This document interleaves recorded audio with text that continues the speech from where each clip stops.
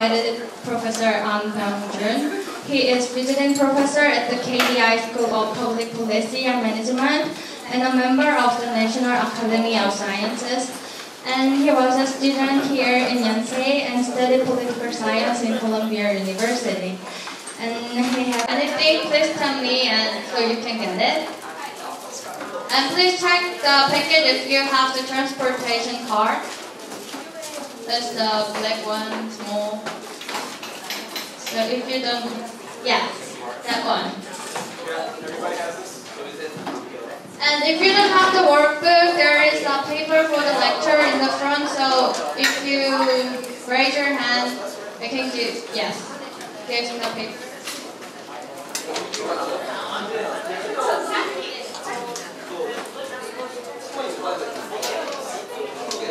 Japan and uh, in Korea and others too. Now, this morning, I'm very pleased to talk about the current state of uh, uh, Korea, Japan, China uh, cooperation. By that, basically, uh, we mean the, the current state of uh, Northeast Asian cooperation and issues facing in facilitating or promoting this uh, regional cooperation. Uh, as you know, uh, uh, the most important uh, aspect of Northeast Asian cooperation is taking place bilaterally in the vicinity of China, but also throughout the North, South China Sea and East China Sea, and uh, China is trying to, to expand its influence into the West, West Pacific, even into the. Uh, so, uh, as a result of this, there's a rising rivalry between the United States and China. It seems to me this rivalry is, is, is is going to continue for some time to come. So, so uh, this so-called Northeast Asian cooperation, uh, so-called Northeast Asian regional uh, cooperation, has to make adjustment to this rising rivalry between the U.S. and, and China. So, uh, a, an overall theme that I want to get across to you is that uh, there seems to be two different versions of uh, so-called negotiation on TPP, Trans-Pacific Cooperation.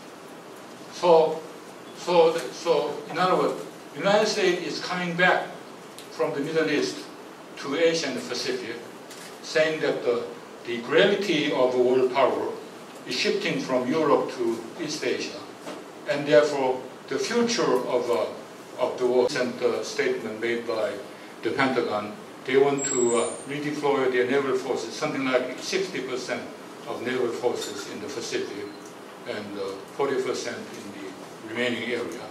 And, and this is, uh, uh, is called rebalancing strategy or, or America's pivot to East, East Asia.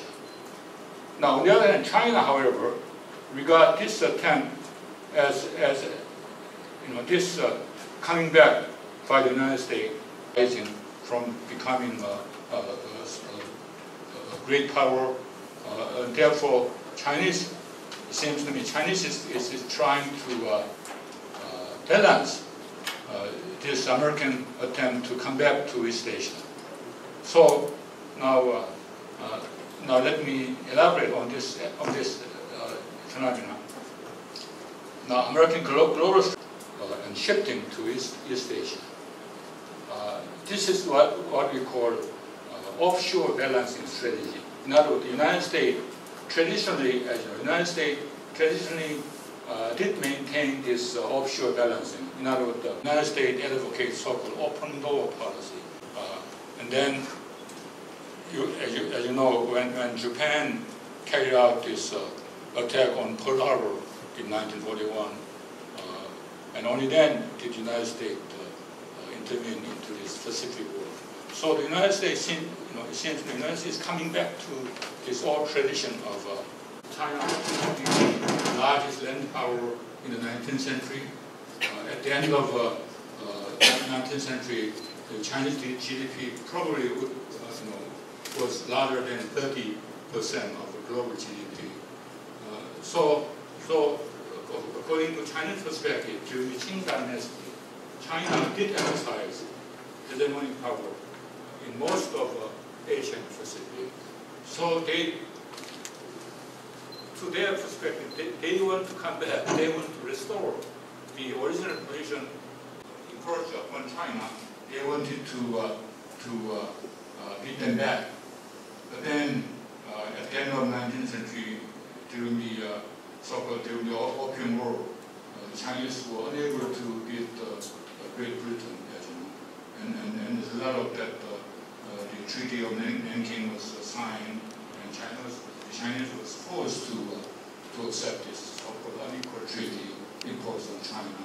They opened up uh, several ports along the eastern coast. Uh, uh, so since then, Chinese have deep this, this profound sense of humiliation. Now with the rising power of China, economically, you recall two years ago in, in 2010, Chinese economy replaced uh, the Japanese economy as uh, the world number two economy. Uh, and then from that time on, more or less the Chinese had uh, uh, enjoyed great sense of, uh, of confidence. now book named On China, this is sort of biographical book about his, his experiences in dealing with China. And in that book, he pointed out that Western power put emphasis on deterrence but the Chinese put more, you know, more emphasis on preemption, meaning that the Chinese want to, uh, uh, to deter Western powers from approaching China in advance. Uh, this kind of behavior Sino-Indian border. So, so we are beginning to see another sign of of rivalry between the United States and China uh, for the future of, of the Pacific and East Asia, it seems to me.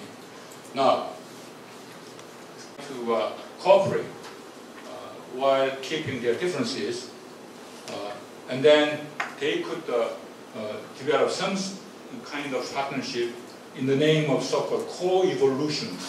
In other words, China and the United States could evolve into sort of Pacific partners, and then advocated by uh, scholars of international relations. There, there's a one scholar named uh, uh, Aaron Friedberg, uh, who, who served as advisor to Vice President Dick Cheney.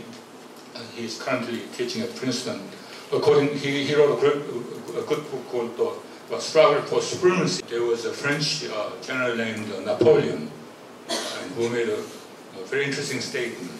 And at that time, this was almost 200 years ago, uh, at that time he said China was a a sleeping lion. When this lion woke, uh, wake up, the entire world will tremble. Uh, then there was war. This was true in, in the Napoleon War, this was true in World War One, this was true in World War Two, and this was true in the Cold War. When the, when the Soviet, Soviet Union was unable to be integrated into the Western bloc. Uh, there was Cold War, but the Soviet Union collapsed uh, voluntarily, uh, but China is rising right now, uh, as you know. Now, as for the future of China, nobody knows. In Europe, all of uh, territorial dispute was settled with the so-called Helsinki Final Act in 1975. They accepted the order that emerged at the end of World War II. But in, in East Asia, in North Asia, we still have this territorial dispute. As you know, Chinese and, and Japanese are disputing over this tiny island called what Japanese call Senkaku, what Japanese Chinese call Aoi and uh, Korea and Japan are really confronting over this uh, uh, this island called uh, what they call Dokdo and Japanese call Takeshima. and as you know, the, the Chinese, the Middle Kingdom, meaning Zhongguo. Zhongguo means the center of the universe. So according to the traditional sense, China means the universe. According to Chinese, they call it ten, Tianxia. Tianxia means under the heaven, but Tianxia really means ram, the universe. And the Chinese, Chinese king was called uh, uh, Tianzi, uh, uh, meaning the emperor was, was uh, uh, son of heaven. So, so Chinese, as a result of this strong tradition and, and same language called the Chinese character, China have had the former Soviet Union and, and the People of China. In the former Soviet Union, the, the number of minority exceeded the number of Russian uh, by the end of the Cold War. This is why the Soviet Union uh, collapsed easily. In China, however, as you know, uh, there are 55 minorities, but their number is, is less than 8% of the entire population. And the, the Han people, so-called Han people, constitute more than 92% of Chinese, Chinese population. And they have, you know, they have had this trade and civilization. So we have a historical dispute. Uh, and, and, and, as a result that, the, the Japanese and Koreans still have a, a, strong sense of what I, what I call wounded nationalism. In other words, the, in other words, from, from Korean, from, there's a rising uh, tension between Chinese uh, assertive nationalism, uh, Zhonghua, uh, sort of Chinese, Sinocentric uh, nationalism, and Japanese uh, uh, wounded nationalism.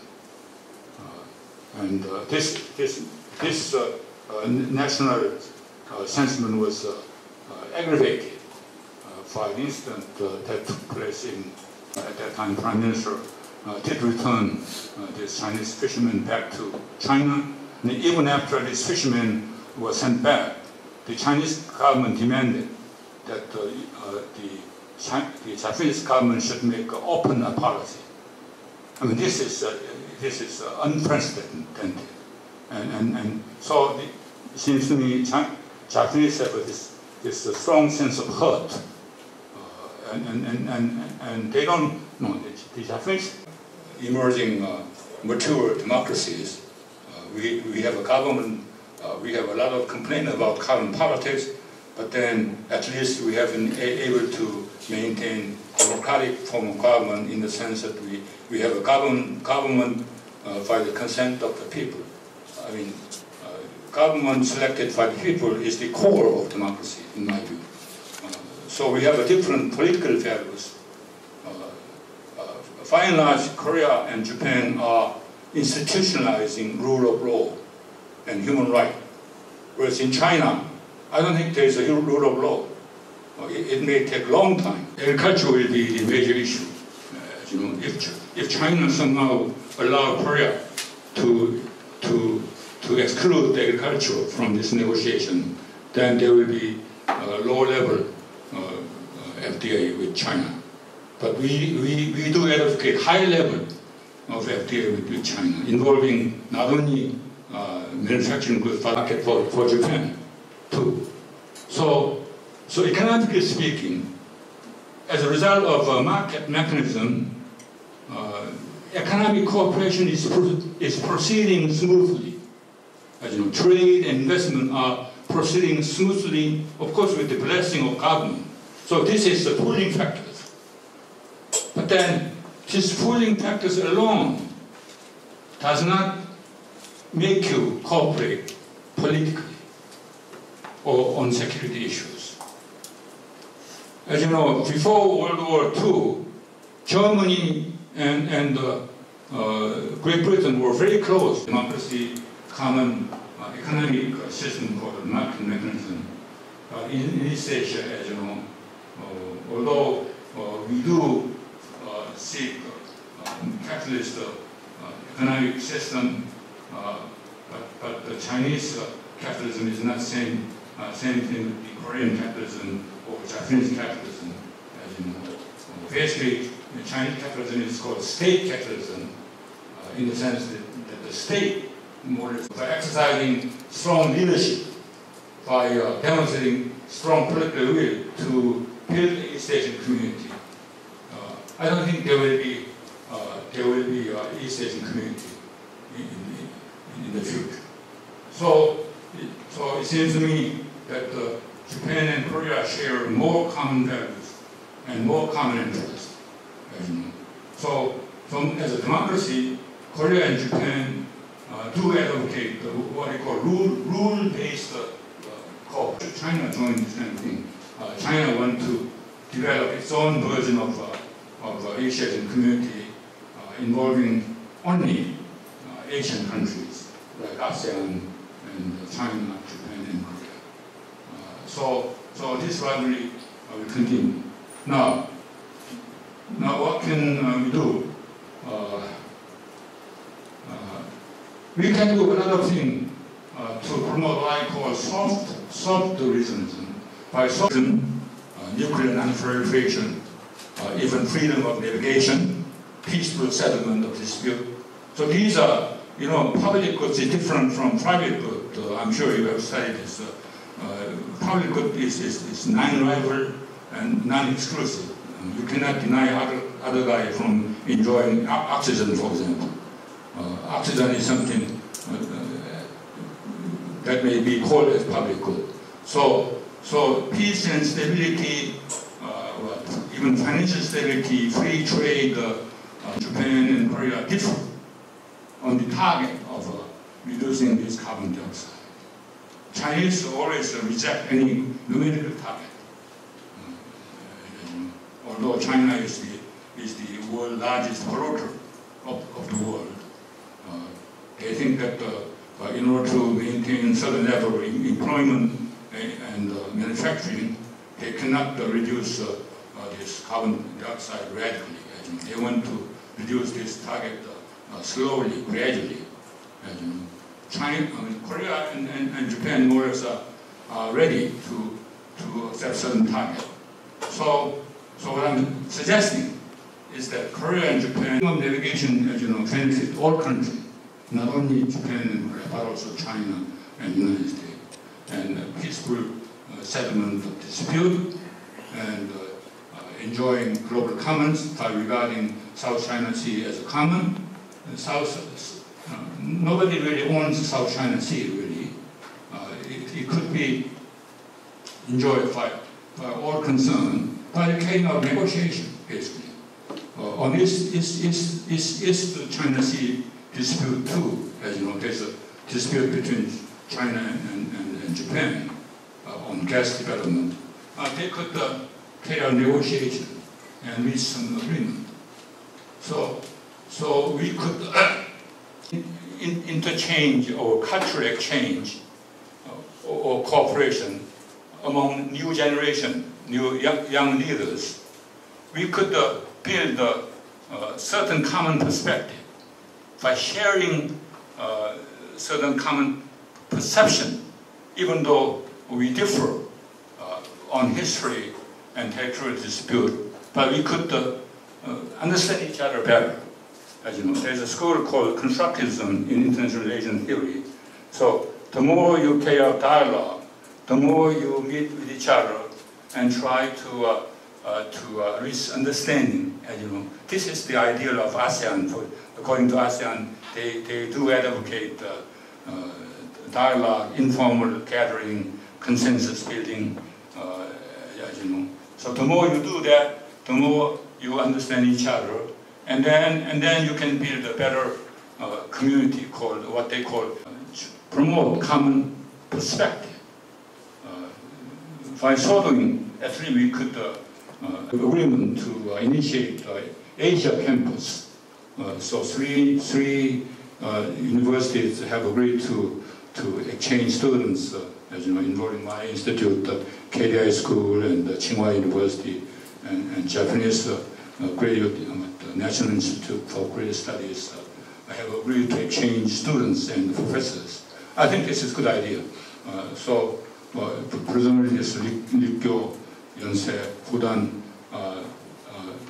exchange program is a sort of things like that. And uh, the more we do uh, carry out this kind of uh, interchange, the more better understanding you can reach. Uh, in international relation, you do what you can, really.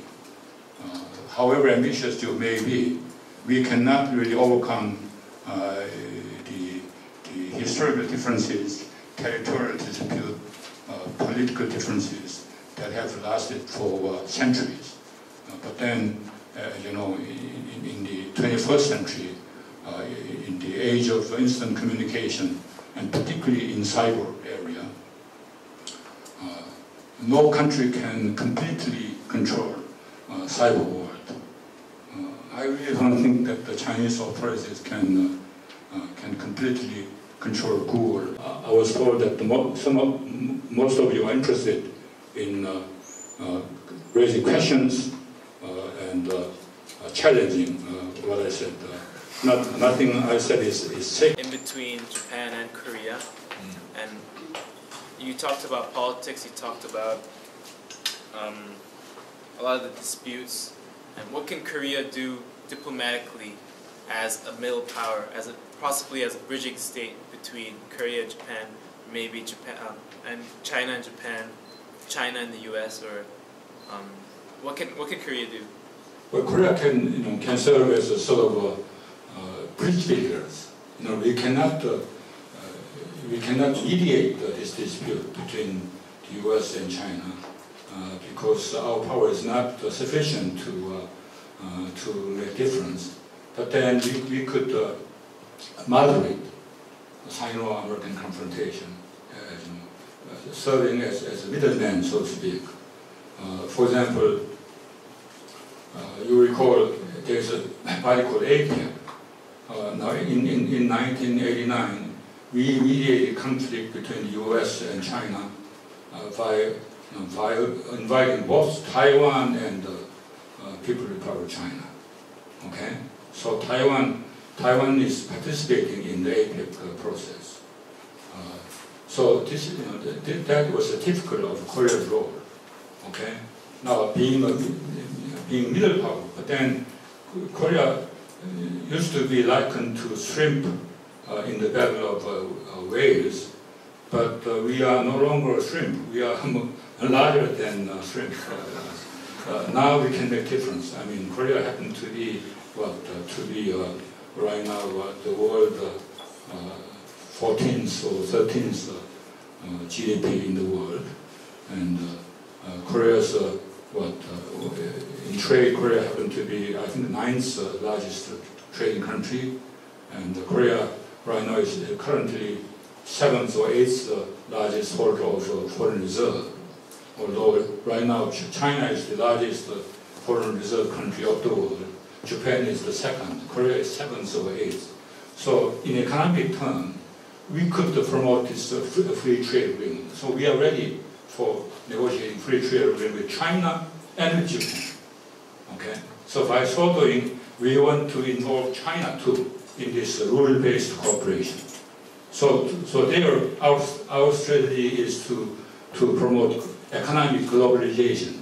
We, so we want to, we want to keep China engaged in, in economic uh, interconnection, so that China also could play by the rules.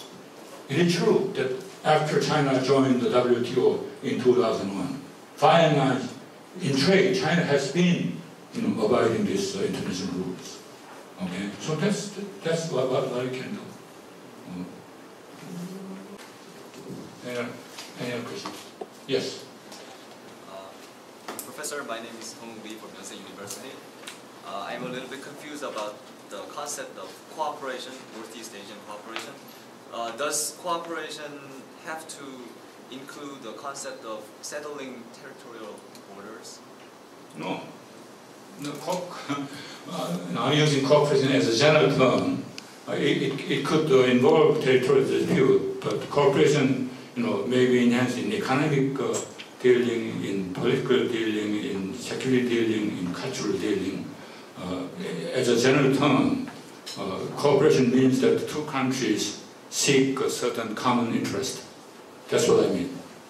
So after after the after the 21st century, when the I think I think know countries in ASEAN Mm. will take a role take a role in settling territorial borders in Northeast Asia Mm. by raising their economic power, uh, the economic power of countries other than Korea, China, and Japan.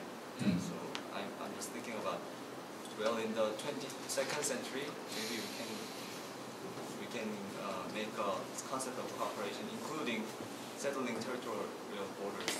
I just thought about that, but I just want you to I, What's? I, I hope you're right, but then uh, ASEAN, as you know, ASEAN consists of small countries.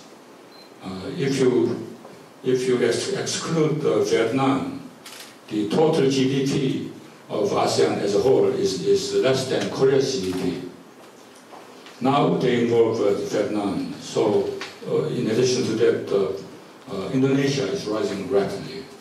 Uh, But then even if uh, Indonesia rise rapidly along with the Taiwan, I mean Thailand and, and Vietnam, ASEAN as a whole cannot really compete with, with China and Japan as a collectivity. So, so that's a, what ASEAN can do is something like Korea. ASEAN, ASEAN, you know, ASEAN serve as a sort of a, uh, bridge paper. You know, they, they invite uh, China, Japan, and uh, Korea in, in, in uh, ASEAN Regional Forum. So ASEAN is providing a venue, a, a meeting place. But uh, when, whenever they have their own dispute, uh, you know, ASEAN can do little. ASEAN didn't take any action at all about this dispute between China and the Philippines. Let alone ASEAN didn't take any action at all about, about Myanmar, about Burma. You see. So, so now it's all good for ASEAN to promote the consensus uh, informal meeting. Now, ASEAN started back in, in 1967. Now, during these all these long years, what did ASEAN achieve? As you know, when, when, when Thailand and, and uh, Cambodia even fought with the, uh, with the gunfight two years ago, ASEAN did nothing. You see, so so again, they do what they can. It doesn't mean that I don't I don't want to to belittle ASEAN role. You know, ASEAN ASEAN is serving as a useful place by inviting United States and China and European countries ASEAN. By so, by so doing, they are, you know, they are enhancing their own leverage, their own influence. Yes. yes. Hello, and I want to ask about, you said there is a European identity in EU, and I think it's because of they have the similar religion. But you said that there is no uh, Asian identity in uh, Asia. Can we have such kind of identity in the future? And if, if there is, uh, what do you think is the factor of Asian identity? Well, uh, your question is, can there be an Asian identity in the future? Uh, it, it could be, but then it will take a long time. Uh, it, it, it will take uh, more than centuries, in my view. As you know, for one thing, in your country, Mean, I- I'm very blunt. In your country, uh, one, one thing your country uh, do well is to maintain uh, your sense of identity. Uh, unlike other countries, the number of immigrants uh, in Japan is less than 1%. We don't want to uh, invite uh, uh, Filipino, uh, ama Filipino uh, nurses and workers in, into your society because that may, may well cause instability. And also, uh, the number of Christians in, in, in Japan is less than 3%. Uh, so, so you have a strong sense of, uh, of uh, Japanese identity, as you know. You want to maintain this uh, Japanese.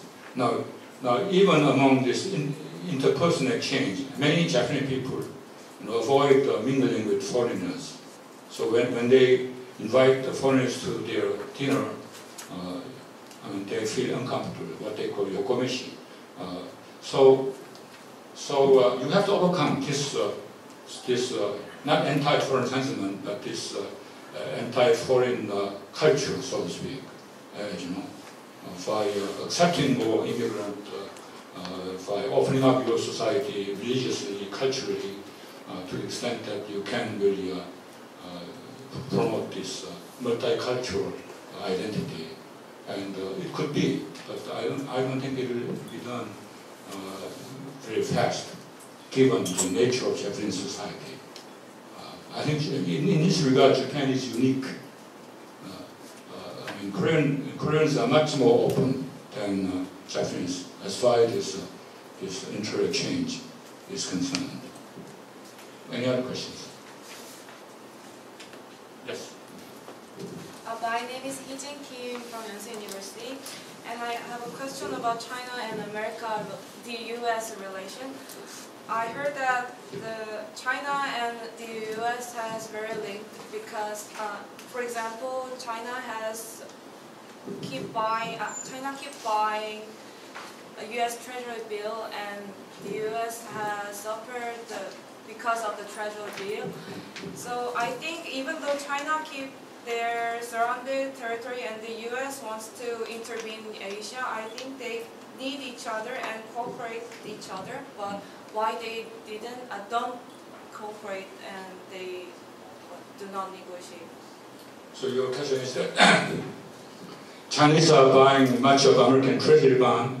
Yeah. Uh, uh, as a result of that, uh, uh, the Chinese economy is interdependent with the American economy. That is true. As you know, right now Chinese are holding the largest uh, amount of uh, US, US treasury bond, reaching 1.6 uh, trillion dollars.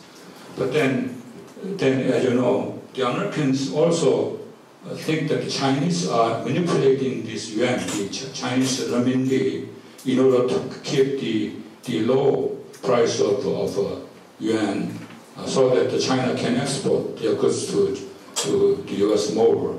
So, so people like uh, Romney is calling that China is stealing American uh, uh, manufacturing uh, technologies and manipulating Chinese uh, uh, currency. So even in economic relationship, everything is not smooth, as you know. Only when there are certain common interests, only then can they moderate their interest. And, and to do so, they are carrying out this, this annual uh, strategic and economic dialogue. Okay. Much more importantly, however, the United States is not going to allow China from exercising hegemony in East Asia. China, you know, China is not willing to accept American interference. You know, here, as you know, Yang, Yang Jiechi, I think in fact, fact to 2010 at the ASEAN Regional Forum, Hillary, uh, American Secretary of State, uh, made a statement saying that uh, uh, freedom of uh, navigation and peaceful, settlement are American national interest. Okay, and then some of uh, some of these foreign ministers of uh, ASEAN countries sided with the Hillary statement, and then Yang Jiechi, as you know, spoke up, saying that uh, look, you are small countries, and China is a large country. So as a large country, we may have a different view. So this is a fact, he said. Uh, and, and, and, and, and, and, also he said that uh, a third country, meaning United, a third, country should not interfere in these Asian affairs. So here, uh, it seems to me that uh, Yang Jiechi was advocating sort of a Chinese version of Monroe Doctrine. So uh, Yang Jiechi think that the U.S. has no business of, uh, of uh, interfering in Asian affairs. So this rivalry, strategic rivalry, is uh, inevitable to continue. That's my Even though they uh, depend on each other. Yes. yes. That happened uh, between the U- between uh, Great Britain and Germany before World War One. Their economic, uh, you know, economic interdependence was deep, but then that did not prevent uh, this country f- from going to war. Any other questions? Yes. Thanks for your lecture.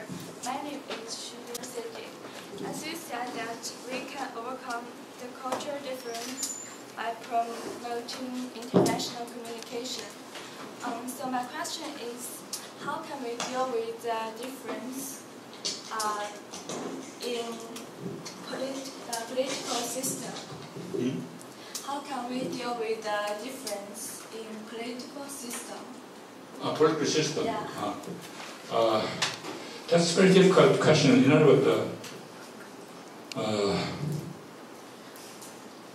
basically, you cannot uh, uh, settle dispute, political differences through negotiation. But then what you can do is to better understand each other.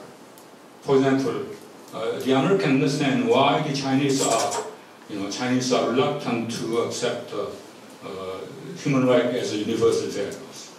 Because the, the Chinese is thinking that uh, uh, feeding people is more important than human rights. And American understand that.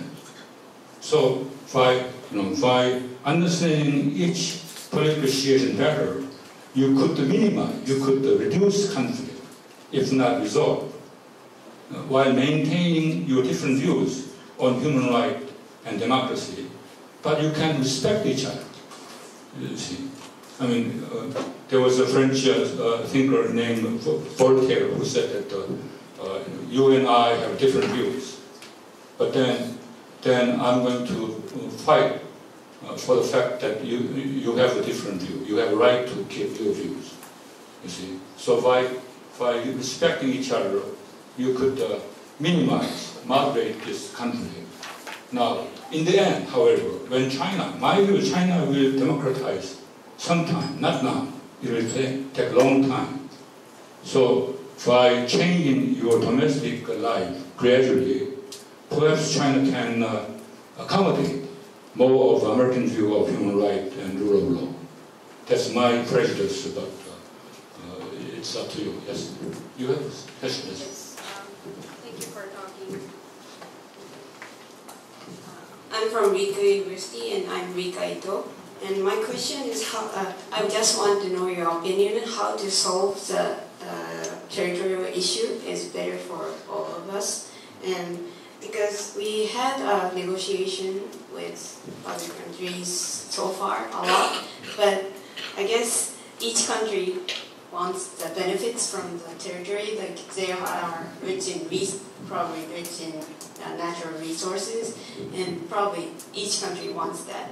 So, and what can we Well, negotiate? What can, what can you What do? can do? Now, uh, uh, I mean, to put it bluntly, so resolving uh, trade, trade issue involve war, fighting. Only by war you can resolve this trade issue. Okay? Now, short of going to war, now what can you do? You could negotiate, you could uh, carry a dialogue, as you know, try to avoid going to confrontation and, and, and put more emphasis on other important things like economic interdependence, cultural exchange, technological exchange, uh, you know, on promoting global uh, public goods or promoting the concept of global commons. Uh, by so doing, you could uh, uh, avoid confrontation. Now, now, later on, however, as you know, when China become much more democratized, pluralized, and then perhaps uh, Chinese leadership will survive without, uh, you know, resorting to this ex- exclusive nationalism or territorial dispute. Only then can there be some resolution. You see, I don't think uh, China, is interested in this uh, Diaoyudao or Senkaku per se. If they yield on this issue, as you know, they have to yield on other issues, like Tibet, for example, like Indian border, for example, like other, uh, other territorial issues. This is why China cannot back down. And the same is true uh, on, on the Japanese side. If, if Japan back down on this uh, Island, then Japan has to back down on the northern territory, on Dokdo issues, on other issues. So this is why it's, it's quite difficult to resolve, so resolve. There is no resolution in mind. All you can do is to, uh, is, is to keep this dispute calm, uh, more or less uh, stable. In the meantime, as you know, you try to deepen your cooperation in, in other fields, other than territorial issues. Okay. any- Yes. Thank you, Professor. I'm Zhao Zheng from Fujian University, and my major is environmental science and technology. Uh, there is a heated topic, my major concern, that is uh, climate change and global warming. So I just want to ask uh, how these three countries can cooperate in this in this topic. Yeah, I think that, that's a very good question. It seems to me that uh, again, uh, since China, you know, China has become the uh, largest polluter of the world, it's, it's imperative that China should do something about uh, uh, reducing this carbon dioxide. Uh, one way of doing that is to promote what they call green green revolution, green cooperation, by promoting green facilities that reduce, you know, release of carbon dioxide and, and other pollutant, as you know. In this regard, Japanese is, is at the forefront of technology, and Japan is willing to provide more money too. And Korea, from our side, the Lee Myung-bak government is, is extremely interested in promoting this uh, green revolution as one of the priority items for international cooperation. So we hope that China can join this effort, joint effort, not necessarily for Chinese sake, but for, for the com common goods of East Asia or North Asia. Yes, lady. Okay, uh, uh, Professor, Professor and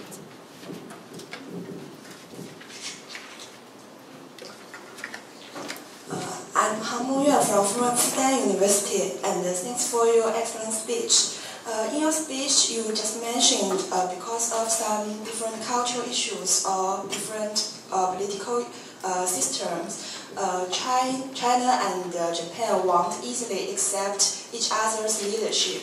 So, do you think uh, there must be a leader in the East Asia community, or is there any other mode of uh, mode of alliance in East Asia community? Thank you. East Asian community, right now, currently, as you know, China is trying to assert at the uh, at the uh, what uh, uh, ASEAN Plus Three. There, China, as you know, is exercising leadership to a certain extent because China China concluded this FTA with ASEAN, and China is providing great deal of aid, economic aid to ASEAN countries. Okay. But then Japan, on the other hand, is providing more money, more aid to ASEAN countries. And, and Japan has joined this uh, TPP and uh, agreed to negotiate this TPP with the United States. So Japan is, is beginning to assert its own leadership. Okay? So this rivalry between Japan and, and China is not going to disappear anytime soon. Okay? Now ideally, as I implied, uh, Japan and Korea uh, exercise joint leadership, as you know. And only then can there be so-called Asian community, as, as happened between Germany and France in EU, as you know. But that, having said that, is not going to be realized anytime soon. Uh, you know that uh, this uh, uh, anti-Japanese sentiment in China is rising, particularly among the younger generation. And uh, according to, to uh, press release in, in, in Japan, uh, as high as 85% of the Japanese public, as you know, is, is really against the Chinese leadership. Uh, anti, an, anti-Chinese sentiment is rising in the Japanese public. So, so like or not, this is reality. Now, how can you reconcile these differences? Of course, you can promote exchange and uh, cooperation, but that will take a long time. Yes.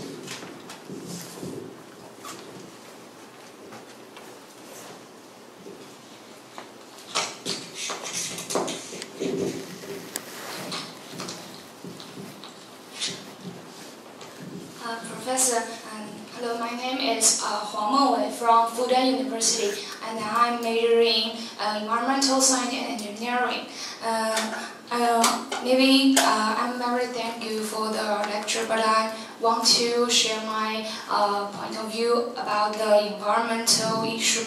Uh, considering the Chinese Chi- China, maybe China is the mo- uh, biggest uh, manufacturing factor of the world, so they do a lot of work and uh, uh, maybe some pollution is uh, uh, um, um, can, uh, cannot avoidable. And uh, we may, maybe we should consider the history of the pollution uh, too because uh, in the um, uh, in the history many developed uh, developed countries also polluted but uh, nowadays we maybe we focus on the environmental issues uh, more, so they find the problem and uh, they ask China to be responsible for the issue.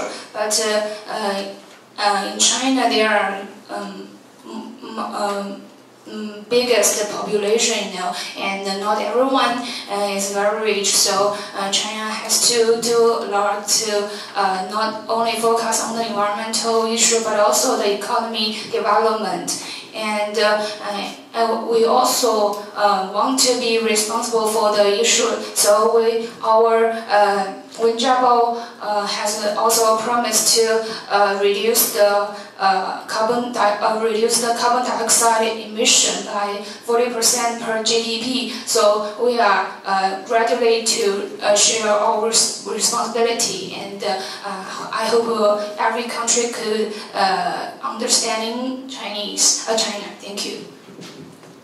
Yes. I am aware of the fact that uh, you do what you can, you are doing your best, as you know. But it's true that uh, uh, at the, I mean, to, be very honest with you, at the Copenhagen meeting in November to, 2009, uh, Wen himself led the anti-Western coalition and rejected uh, the target for reducing carbon dioxide. Okay, even at, at the uh, second uh, what can but the second meeting uh, or two, Chinese refused to accept any overall reduction target, as you know. And then, then in your way, you, you want to keep this target for individual industries, individual factories. So you are trying to reduce this uh, uh, release of carbon dioxide in Chinese way, in, in your way. Okay, so I, think that is uh, quite good, that is acceptable. But then, uh, if I may uh, express my view, I think this uh, environmental issue is, is going to be one of the difficult, uh, most uh, political difficult issues. Recently in Qidong, I mean, the, an industrial project was, was rejected by the people's rebellion, and the Chinese authority accepted their demand. More and more incidents like that will, will occur. Now, it is true that at this time of the year, in Beijing, as you know, uh, the smell of this uh, yellow coal is so, so, so tough, so, so bad, that it, it becomes difficult to breathe the air, you see. So, so I think you should do something about this uh, reduction. Uh, time is running away, so we hope you can do better. Uh, at the same time, I do appreciate uh, your effort in, in uh, trying to reduce this carbon dioxide release.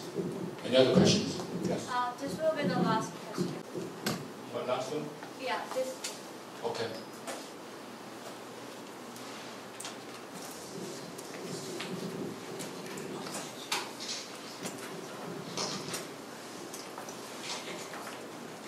Thank you for your speech. I am Mikia Sakata from Keio University. And my question is that I understand that East Asian community is very hard to make it possible and it's going to take a long time. But when it, it, when it comes true, what will happen? I want to know about that because when, when it makes like the East Asian community is built, mm-hmm. what will happen to each country, like what good will happen to each country, because when I see EU, it's not a magical something that made like a happy, very happy ending for everything, everyone.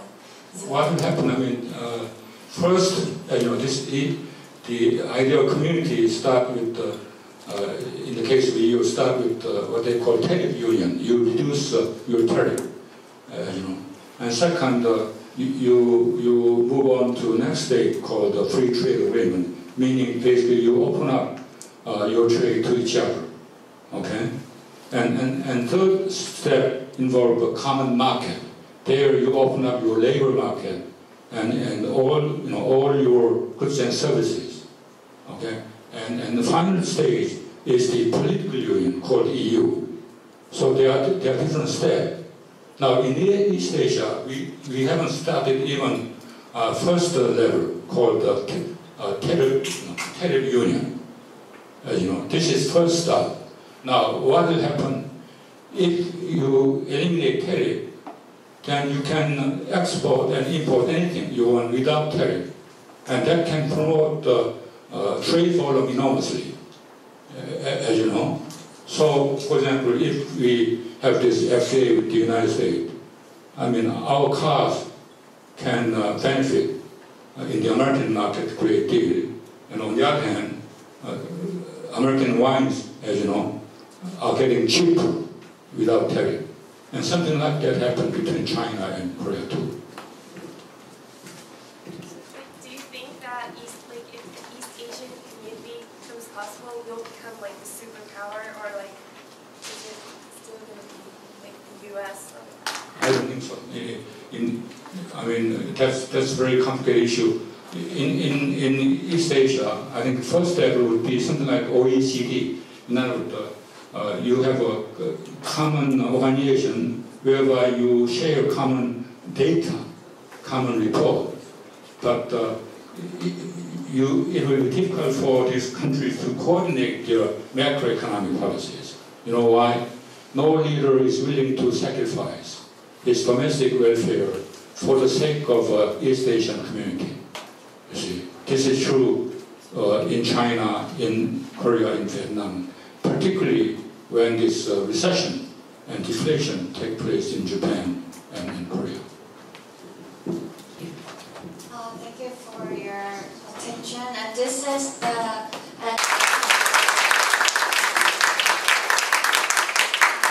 and I have another announcement. We will have a photo taking after this session, so we have to go to the uh, Underwood statue. So please be prepared for that. And after the lunch, there is a discussion, and in the work booth there is a discussion group, so you can check it and don't be confused about the group. And Where is the classroom?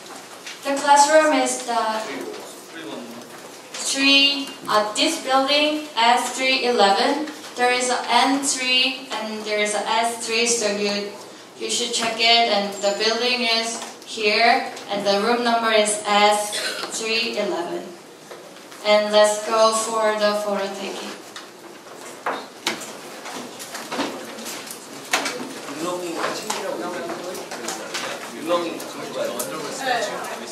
The schedule is we will go for the photo taking and then go to lunch and then have a little break and then come back here to have a discussion so you have to uh, take all your belong- belongings with you.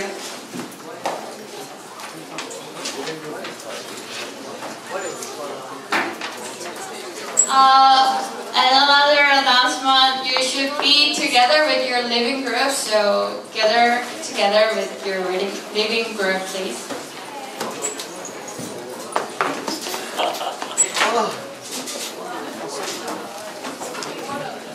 Yeah,